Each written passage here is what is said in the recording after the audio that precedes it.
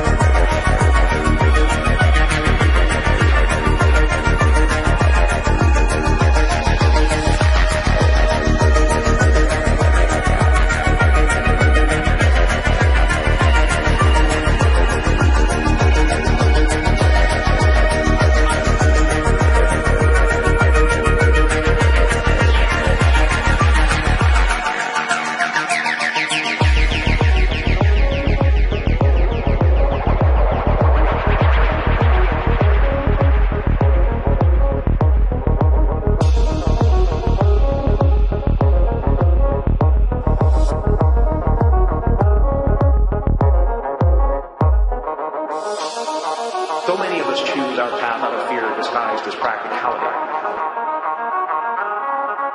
What we really want seems impossibly out of reach and ridiculous to expect, so we never dare to ask the universe for it. I'm saying, I'm the proof that you can ask the universe for it.